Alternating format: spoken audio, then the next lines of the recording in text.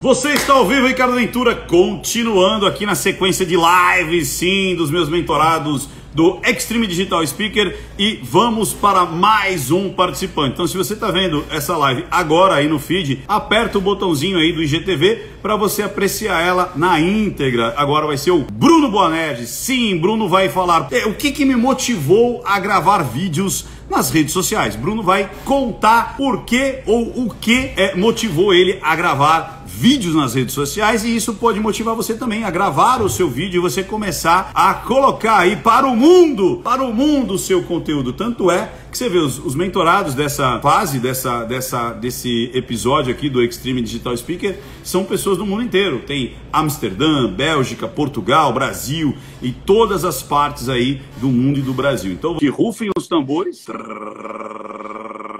Cara, a live é sua, meu amigo. Se apresente e diga para que veio. Vambora. Ah, detalhe, pessoal. Mete o dedo nesse coraçãozinho. Quanto mais dedos no coraçãozinho você meter aí, mais corações de verdade você vai atingir no Insta, porque o algoritmo vai chamar mais pessoas. E eu acredito que você deva compartilhar essa live com muitas pessoas, porque vai ser extremamente inspiracional. Taca pau aí, Brunão, é com você. Eu extremamente estou mó feliz de estar aqui, muito feliz mesmo.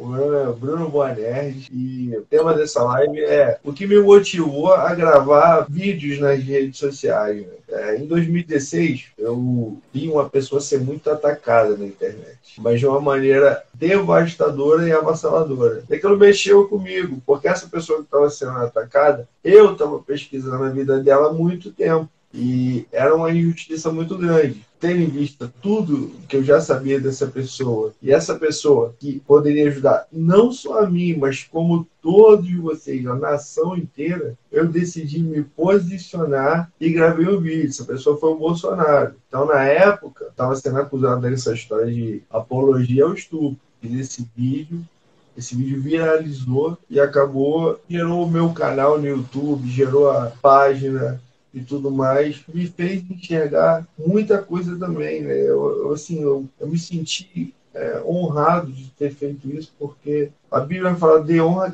a quem tem honra, né? Então eu estava vendo um cara ser atacado. Eu, poxa, eu sei o que é injustiça, né? eu sei como é ser atacado e, poxa, você imagina assim, o cara está sendo atacado, será que não tinha ninguém que podia dar uma palavra? Porque na época o próprio me falou isso, pô, ninguém pode se posicionar, dar uma palavra, só anônimos, mas eu queria causar um impacto mesmo. As pessoas verem assim, pô, o cara tá assim, e o cara está se posicionando dessa forma, e eu, como eu já falei que me sinto assim, muito, muito satisfeito de ter feito isso, foi porque eu contribuí com o meu país, entendeu? Porque eu sou cristão, eu sou uh, um cara patriota e de direito, deixar bem claro. Então, é, ter feito isso me, me, me deixou muito feliz, porque hoje em dia esse cara é presidente da República e ele ajuda, não só, não só me ajudou, mas como tem ajudado todo toda a nação brasileira. Claro, tem, a gente não concorda com tudo o que ele faz, mas ajudou muito, uh, tem ajudado muito a nação brasileira. Vocês imaginam o Haddad na presidência, a desgraça que está o Brasil. Então, a palavra diz que o amor não se alegra com a injustiça, mas se alegra com a verdade. E o cara estava fazendo o quê? O que ninguém nunca fez. Ninguém nunca chegou e pegou a verdade ele botou a verdade como lema da campanha dele. Então, aquilo, eu já estava vendo vídeos antes, e aquilo me motivou a fazer alguma coisa. Eu estava vendo um filme esses dias do Bruce Williams, que é Lágrimas do Sol, não sei se tu já viu. No final do filme, eu acho que tem uma frase que diz que para que o mal triunfe, basta que os bons não façam nada. Então, se a gente não fizer nada, teve muita gente que fazia alguma coisa antes da campanha e hoje em dia são os isentões. Então, antes da campanha, será que eles já não era isso? Não eram isso? Então, é, fica essa pergunta, né? É, muita gente ainda segue determinadas pessoas que eram uma pessoa antes e se mostrou ser outra pessoa depois. Né? Fica essa pergunta. Então, eu mantive é, assim essa linha de, de querer fazer algo pelo meu próximo também, devido a essa injustiça que aconteceu comigo, né? A gravidade do que aconteceu comigo e, poxa, o cara estava sendo acusado de algo que é absurdo para uma mulher que. Eu não vou usar uma palavra aqui hoje, porque todo mundo sabe quem é Maria do Rosário, né? Entendeu? Ela que defende só o bandido. Maria do Rosário, a, a deputada, né? ela, deputada ela federal. Tava, ela que estava à frente da, da, da Secretaria dos Direitos Humanos na época em que aconteceu o, aquele fatídico de aquele fatídico episódio comigo. Ela que estava à frente. E eu vi, eu vi, ninguém me falou não, eu vi uma mulher dos direitos humanos defender o cara, o meu algoz na televisão. Peraí, eu... vamos lá. Você viu, não te contaram, você viu uma mulher dos direitos humanos defender o garoto que garoto? deu um tiro em você deu um tiro em você e fez com que você ficasse tetraplégico. Essa mulher, ela falou com você? Ela visitou você, Bruno? Ah, que nada, pô. Ela não ligou para você? Ligar, pelo menos ligar. Ligou? Não. Ela, ela mandou um e-mail. Ela mandou ela um e-mail. bandidos. Ela mandou um e-mail para você, pelo menos? Não, claro que não. Ah, ela não falou com você, não ligou para você, não mandou um e-mail, nada, nem uma caixa de, de, de sei lá, de bombom. Falou, olha, Fiquei com vergonha de falar com você, mas estou mandando uma caixa de. Nem isso também. Nem isso. Mas ela então... apareceu na TV em cadeia nacional, defendendo o garoto que atirou Não, em você. Verdade. E me parece que o garoto que atirou em você já tinha atirado em outras pessoas, é isso? Eu tinha matado duas pessoas. Ah, tinha, não é atirou, ele tinha matado outras duas pessoas. Quando tinha 16 anos, parece. Quando ele tinha 16 anos, ele matou duas é, pessoas. Não, e o vagabundo, o vagabundo, pode chamar de vagabundo, não, é, é, é os menores. É o, melian, é o suspeito, é suspeito não, é a vagabundo, né? Os menores vítimas da sociedade. Ele é a ah, vítima, né? Ele é a vítima. O Bruno não, tá certo. Esse cara, esse cara, ele tava algemado do lado de fora cara, da cela, mano. E a mulher apareceu. Não, é que não podemos deixar é, os presos nessa situação, porque olha só, essa cela está totalmente cheia. Esses dois, eles nem água, eles não bebem água. Eu estava preocupada. Eles não podiam cara... nem se mexer dentro da cela, né, Bruno? Eles estavam tolhidos do seu direito de se mexer, de se movimentar dentro da cela, né? E aí, olha só, hein? falando que ele não poderia nem beber uma água. E eu Pô, cara, na hora que eu vi isso aí, eu. E, e, e, e naquela época, né? Fiquei muito bolado, mas quem me contou isso aí foi uma amiga da família que ligou e avisou: ó, vai passar uma reportagem na televisão, assiste aí, porque o bandido vai estar tá lá. Mas ah, olha só que situação, né? Isso tudo que aconteceu, todas essas coisas que aconteceram, tudo que eu vi, né, essa loucura que o mundo, desde a época, eh, antes de eu tomar o tiro, já ali já estava começando um movimento assim já para ficar a esquerda ficar bem explícita, né? Aqui veio, aliás, você vê na história aí que a esquerda só causou desastre no mundo, foi genocídio atrás de genocídio, né? e é uma ideia que não tem sentido, não tem pé nem cabeça, vindo de mentes satanistas, né? Karl Marx, você vai esperar o quê do caso aqui? a biografia do cara. Então, essa ideia não só só ferra. E eu sou uma vítima disso aí, porque na época quem era quem estava na presidência era a Dilma já. Mas quem foi o mentor dessa merda toda aí foi o Lula. Eu digo que um, um dos responsáveis, tem vários responsáveis, presidente da República, ele que indicou aqueles ministros, aqueles vermes para o STF, ele que colocou a Dilma na presidência da República, aquela anta. É, então, toda, toda essa, essa configuração aí acabou gerando é, não só o que aconteceu comigo, mas o que aconteceu com várias outras pessoas. Eu cito aquele caso do Vitor Hugo Deppman, que aquele caso assim, mexeu comigo pra caramba na época. Não sei se você lembra. Ele estava chegando em casa né, e aí o bandido abordou ele e faltava dois dias para o cara completar 18 anos. Abordou ele, ele deu o celular pro cara, o cara pegou a pistola e deu um tiro no, no olho dele. E a mãe do Vitor Hugo Deppman, ela fala, eu tenho esse vídeo no, no meu canal, a culpa é do sistema, redução da moralidade penal. Ela fala que a culpa não é só do bandido que puxou o gatilho, que os deputados federais e senadores também ajudaram a puxar esse gatilho. E ela tem razão, porque esses vermes que estão lá no Congresso, eles só pensam neles. Não tem é, amor nenhum ao próximo. Ah, aqui, se você for para 1 Coríntios 13, diz que ó, o amor não se alegra com injustiça, mas se alegra com a verdade. é, não se ira facilmente. Então, nessa parte que eu quero. Não, não maltrata e não visa o seu interesse próprio. Os caras só visam o interesse próprio. Eles não têm. Eles não estão nem aí o que está acontecendo aqui, não. Eles vivem numa bolha. Então, o que eu falo para o pessoal aí do chat, pra, assim como o pessoal aqui da turma está aprendendo, vocês também podem fazer diferença nesse meio, entendeu? Vocês podem ser uma, um, um influenciador. Eu nunca esperei na minha vida que eu ia gravar um vídeo que o deputado Jair Bolsonaro, que todo mundo era uma aglomeração para tirar uma foto, iria ir na minha casa, depois iria me visitar no hospital e iria ter contato comigo pelo telefone, no, WhatsApp até 2018. E que eu teria um canal no YouTube, ou agora estaria aqui. Então, ah, assim, eu sou grato a Deus pela vida que eu tenho, muito grato posso dizer, eu sou um cara feliz. Eu sou um cara feliz. Não importa o que aconteceu. Isso é algo assim para.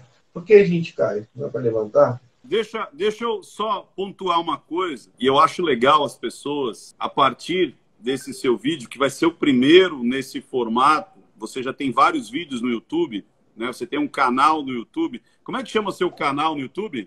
Bruno Boanerges. Que você está dizendo o seu, que todas as pessoas têm direito de colocar o seu posicionamento. Então, é, e você tem na pele, você tem na pele, na vida, razões suficientes para apoiar o Jair Messias Bolsonaro. Você tem. Eu, eu até digo o seguinte: se você não tem, se você não gosta do Bolsonaro, abra um canal no YouTube para falar mal do Bolsonaro.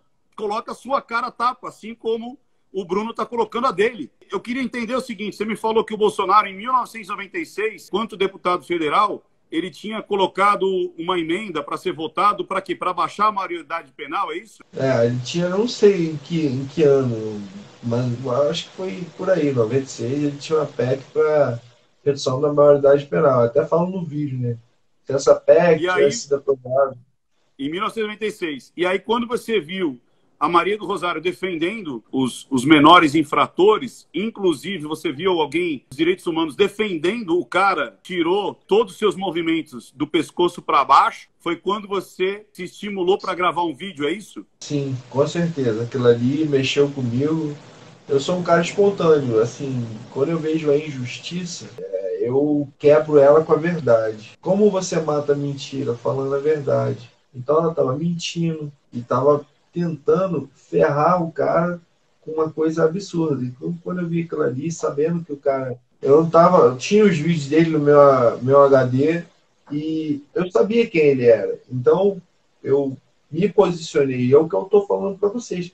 Vocês podem ser um influenciador digital e devem, porque olha o que o Brasil está enfrentando, olha a bestialização que está esse país, Olha o que esse retardado do Big Brother, que eu não vou nem mencionar o nome, fez aí, ó, papelão, sabe? É tudo, é tudo, é toda uma loucura, o mundo tá ficando doido. Então, se você não se posiciona, é o que diz a frase, por que o mal triunfa? Porque os bons ficam quietos. Ah, eu tô aqui na minha zona de conforto, então, ah, tá tranquilo para mim, deixa para lá. Mas quando atinge você, aí é diferente. Eu, mesmo se não tivesse é, nessa situação, eu me posicionaria, porque é de mim. Tem gente que tem que acontecer alguma coisa para poder se posicionar. Não é o meu caso. Então, o que eu falo para vocês é isso: é manter fé, esperança, cara, em tudo. Entendeu? Independente do que aconteça. Porque a fé, a fé me motivou a amar. Amar a Deus, amar a vocês. Quando eu fiz isso, não foi só pelo Bolsonaro, não, foi por vocês também, pô. Foi por vocês também. Não foi só pelo Bolsonaro, porque eu, se eu sou patriota, obviamente eu amo o meu país. E país tem que ter pessoas, não é? Então amo vocês. Fiz por vocês também. E o que me motiva a gravar os vídeos que eu gravei no canal, quando eu vejo alguma coisa absurda, como aquele filme Como Eu Era Antes de Você, o cara cheio do dinheiro, castelo, uma mulher que amava ele, o cara optou pelo quê? Por eutanásia. Eu posso enfrentar o que for, jamais eu vou optar por isso. Não importa o que aconteça. Então fui lá, me posicionei também e fiz um vídeo. Mas só que totalmente diferente do, daquele final lá. E é assim, todas as vezes que eu vejo algo em que eu, poxa, eu vejo que tá errado, que é algo que pode, pode fazer uma diferença, né? Alguém, algo que cause uma reflexão, eu vou lá, gravo e faço. Tem uma limitação, né? Essa limitação ela me impede muitas vezes de poder gravar o vídeo. Eu tive ah, internado recentemente. Ano passado, poxa, eu quase morri, eu fiquei quatro meses internado. Perdi a memória. Olha só, em 2016 eu fiz esse vídeo de Bolsonaro. Em 2019 eu perdi a memória, mas eu estou aqui agora falando isso aqui para vocês. E fiquei mal, entendeu? Até hoje eu tenho uma, uma, certa dificuldade em poder. Eu falo que eu, de vez em quando eu falo que eu tô igual a Dora daquele filme Procurando a Nemo. mas de vez em quando dá, dá um esquecimento assim, mas ele tem, tem essa não. É partir para cima mesmo, se posicionar, porque o mundo tá, tá ficando doido eu falei do, do caso do, do doidão lá do Big Brother. Tem uma mulher lá trocando a frase, trocando a palavra, sentido das coisas. Todos, que todos, mano. Entendeu? Então, a, a gente sabe que aquilo ali é uma farsa. Na minha opinião, aquilo ali é uma farsa. E aquele cara, a mulher é idiota, mas aquele cara está interpretando, entendeu? Eu, é a minha opinião. O que eu vejo Sabe o que eu vejo muito, Bruno? É o seguinte, eu acho isso muito interessante, acho que é um momento oportuno, inclusive, para falar. Você é um, um rapaz de direita, conservador, católico, cristão, e que defende o Bolsonaro, e eu acho válido a sua posição, e acho válido também quem defende outros. Então, em vez de você atacar, defenda quem você acha que é melhor. Então, o Bruno está mostrando aqui para as pessoas que ele tem N motivos para ser um dos, das pessoas que apoiam o Bolsonaro. São milhões e milhões de pessoas. Até por causa da condição dele. E mesmo se ele não tivesse essa condição, eu tenho certeza que ele apoiaria. Agora, o mais importante é, você tem uma visão contrária, então, qual que é a base? Em vez, ele não fez um canal para atacar outras pessoas, ele fez um canal para falar quem ele apoia. Então, você é contra não importa se é o Bolsonaro, se é o Amoedo, se é o Lula, se é o Dória. Monte um canal, coloque a sua cara a tapa e diga: eu gosto do Haddad, eu gosto do Dória, eu gosto do Amoedo. E valorize essas intenções e mostre para o mundo quem você gosta. Então, ele se, é, se incentivou a ser um, um, uma pessoa que vai promover as suas ideias, e não só politicamente. Ele está dizendo aqui uma das, mas ele fala muito sobre motivação, ele fala muito sobre a resiliência, ele fala muito sobre outros tantos temas que ele tem que passar na vida dele. Então não adianta falar, esse não ou aquele não. Diga qual é o sim. Uma coisa que me tocou quando o Bruno falou, quando a gente se conheceu, e a gente se conheceu há pouco tempo, né, Bruno? É, ele falou assim: eu quero colocar a minha verdade. Essa é a minha verdade. Então, quando alguém vem falar comigo e fala assim, ah, eu não gosto de fulano, eu odeio fulano, fulano é uma bosta, eu falo, de quem que você gosta? Ah, de quem eu gosto? Ah, não, não, fale de quem você gosta, bote para o mundo a sua verdade. Eu não aceito, eu não aceito feedback de pessoas que falam, eu não gosto de. Me fala de quem você gosta. Me fala de quem você gosta. Aí sim eu vou entender o seu pensamento. Aí eu vou entender qual é a sua moral, sua ética, sua retidão. Me diga de quem você gosta. E por quê? Ele tem as razões dele para gostar. E mostrou aqui. Você pode concordar ou não. Agora, diga de quem você gosta e por quê. Aí as pessoas somem. Isso que eu acho engraçado, né? Brunão, me conta quais são as suas vontades agora daqui para frente. As pessoas querem saber mais de você. As pessoas dizendo, pô, eu tô vendo esse cara feliz, sorrindo e deitado. Por que, que você tá deitado, Brunão? O pessoal tá perguntando, ha, ha, ha. Por que, que ele tá deitado? Por que, que você tá deitado aí, Brunão? Então, em 2010, eu acabei. Eu morava dentro da Vila Naval dos Cabos, né? Da, do bairro Alecrim. Dentro da Vila do Naval, dentro, dentro, na minha rua praticamente. É, o, o, menor, né, vítima da sociedade, e ele entrou lá dentro e acabou tentando me assaltar. E me deu um tiro no pescoço. A bala pegou assim abaixo do queixo, ela seccionou a minha medula, nível C4, e me deixou tetraplégico. Clinicamente de caráter, clinicamente, bom enfatizar e ressaltar isso, é de caráter irreversível mas isso aí não define nada, não, entendeu?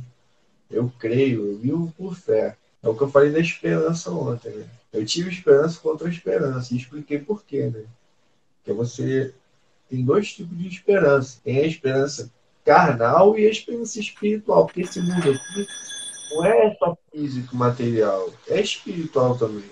Não importa se você crê ou não, isso não muda o fato de que é. É que nem um ateu. A pessoa pode dizer, eu sou ateu. Esse cara tem mais fé do que eu. Porque para ele acreditar que não existe nada, que veio tudo do nada, ele tem que ter mais fé do que quem crê. A gente que é cristão, eu sou evangélico, né?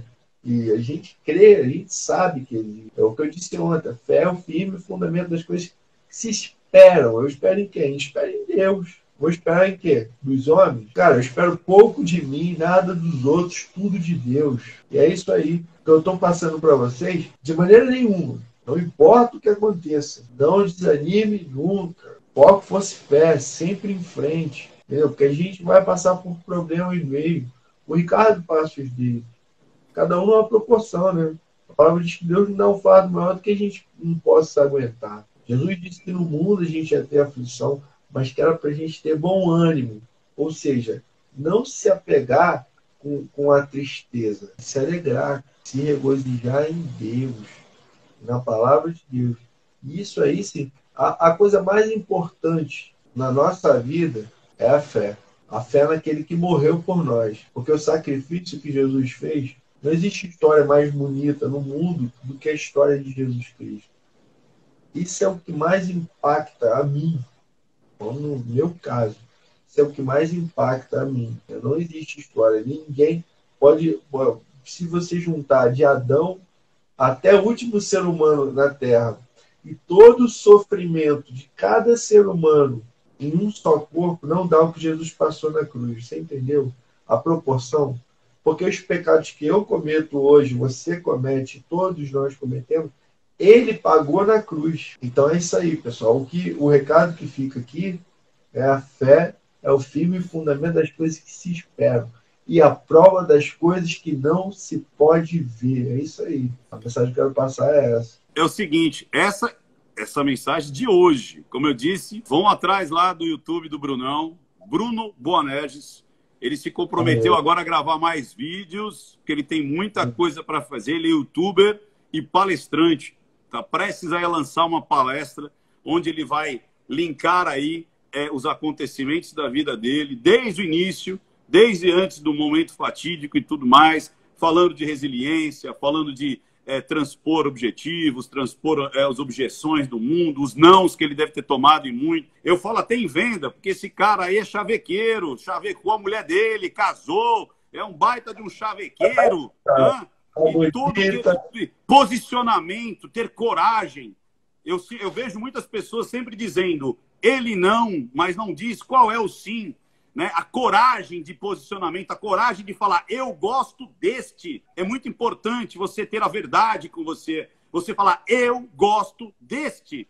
Porque falar o que você não gosta é fácil, criticar é fácil. O difícil é você se posicionar. Então, acho que a, a grande é, o grande cerne, o grande pilar dessa nossa live é que as pessoas comecem a não apontar o dedo para o que não gosta. Aponte o dedo para o que você gosta.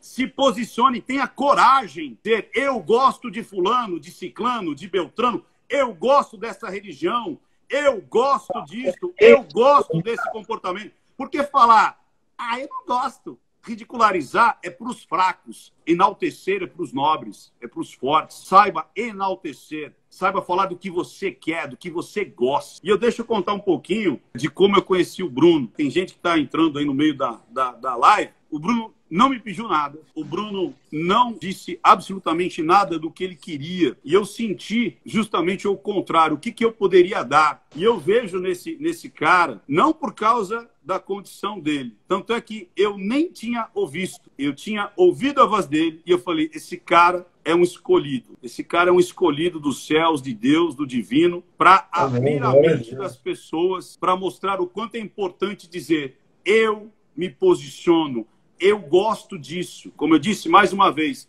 é muito fácil vou dizer o que você não gosta. É muito fácil você ser do cancelamento. Eu quero ver é se inspirar no Bruno e dizer: eu gosto disso, eu sou dessa posição. Ridicularizar é fácil, enaltecer é para os fortes. Ridicularizar fazer emojizinho de cocô é para os fracos, enaltecer é para os fortes. Tenha a maturidade de parar de colocar emojis de vômito, de cocô e comece a colocar emojis de flores para aquilo que você gosta, porque isso é mais difícil. Isso vai doer porque se posicionar dói. Isso que eu quero ver. É isso que eu quero ver. E eu vejo muito nos olhos desse rapaz. Eu vejo isso muito nas palavras dele. Se você concorda ou não, é outros 500. Como eu disse, eu vejo muita coisa nos olhos e na boca desse rapaz. E ele vai ganhar o mundo. Ele vai ganhar o mundo. De todas as pessoas que eu já falei, eu sempre vejo é, isso acontecendo.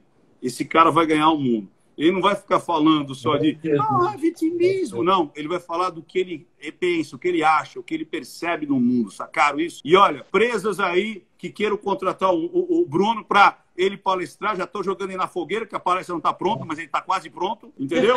E ele vai falar sobre é, é, é, resiliência, venda, posicionamento e que, é, estrutura, o beabá, e do que você chegar no ponto A, ponto B e tudo mais, que é fantástico isso daí. Bruno, suas últimas palavras. Que o poder do Senhor se aperfeiçoe na nossa fraqueza. Então, Amém. não importa, importa o que a gente está passando, qualquer um vai passar por problemas. Mas se você deixar o Senhor tomar conta, ter o controle da sua vida, o poder dele vai se aperfeiçoar na sua fraqueza. E é isso aí. Show de bola. Curtiu, Brunão? Pô, pra caramba. Tamo junto, animado, feliz pra caramba. Eu tava aqui falando pra Tati, eu tô adrenalizado, meu irmão. Agora conta a sua experiência aí com o Ricardo Ventura, pô. Agora eu quero saber o, o outro lado. Eu, eu, eu, contei a minha experiência com você. Né? Eu falei que essa semana para mim foi especial. Cada um de vocês que entraram no, no Extreme Digital Speaker deram uma lição. Todos vocês. Eu precisava dessa dessa turma. Eu precisava dessa turma. E é, eu quero saber o seguinte: o que foi passar aí com o Ricardo Ventura de quinta-feira até hoje no Extreme Digital Speaker? Diz aí. Não, quando, quando você. Quando, eu já acompanhava a Tati, eu não te conhecia. A Tati que acompanhava todas as análises e tudo mais, e aquilo foi me chamando a atenção. Falei, pô, esse cara é fera, mano. Como é que esse cara faz isso, cara? E eu fui, fui olhando que é assim e tudo mais, e fui admirando. Aí, certo dia, né? Eu já, já tava te seguindo, passou um tempo, daqui a pouco veio a Tati, toda animada. Aí ela mandou, uh, mostrou teu áudio. Cara, o coração foi a mil, porque é um cara que tá aí. Você é um influenciador digital do bem, cara. Você também é um cara escolhido de Deus. Você, o que você está fazendo, isso que você faz, não vejo ninguém fazer, não. O que você faz, você pode ter certeza. Você já alcançou o mundo. Ah, você está falando que a gente agora é mais fã ainda. Se eu já, já admirava antes, pô, você pode ter certeza agora que sou teu fã número um. Não vou perder contato com você, não importa o que aconteça, a gente vai estar sempre junto, daqui para sempre. E você tocou no meu coração. Que isso que você faz, cara, é o que está no segundo mandamento da lei de Deus. Amar o próximo como a ti mesmo. Você imagina se todo mundo fizesse isso. E você ama, cara, teu próximo. Isso que você está fazendo aqui é amor ao próximo. Você está dando às pessoas que estão inscritas no seu canal, que seguem aqui teu Instagram, amor. Então, eu vejo amor em você. Você é um cara pô, amável. Você é um cara pô, que dá carinho, entendeu? E que lembra que eu te falei? Aquilo que eu te falei é sério. Eu falei para trás, poxa, a pessoa se o Ricardo Ventura viesse jantar aqui, sei lá, se ele viesse aqui, pô, seria uma coisa boa. Aí a Tati falou, sei lá, quem sabe ele vem. Tá aí o convite, é pra todo eu mundo ver. Eu só vou se tiver pizza, senão não vou, porra. Tá perfeito. Eu, eu gosto de sushi, então eu compro um sushi, eu compro lá uns nigiri, uns hot roll, sei lá, e compra uma pizza gigante para você, seja como for. Mas pode ter certeza, irmão. Te amo e obrigado por tudo que você fez por mim. Maior admiração. Sou teu fã. A ele toda a glória, a ele toda a glória. Eu sou só um fio condutor, já falei isso muitas vezes. E é isso. Cara, é, o prazer foi todo nosso. Eu acredito que todas as pessoas que estão assistindo vão entender que mais importante e muito mais nobre do que você atacar é você enaltecer. Criticar é falso, é fácil. Enaltecer só para os fortes e se posicionar. Cara, mais uma vez, muito obrigado. Sigam o Bruno lá no YouTube, Bruno Bonerges, que agora esse cara vai meter vídeo lá toda semana, porque ele falou para mim que ia botar vídeo toda semana lá. Então toda semana vai ter vídeo novo! Tem também minha, pera aí, tem também minha página Enfrentando Dias de Trovão no Facebook. No Facebook também, vai lá. Até mais, pessoal! tchau, tchau, tchau, tchau. tchau.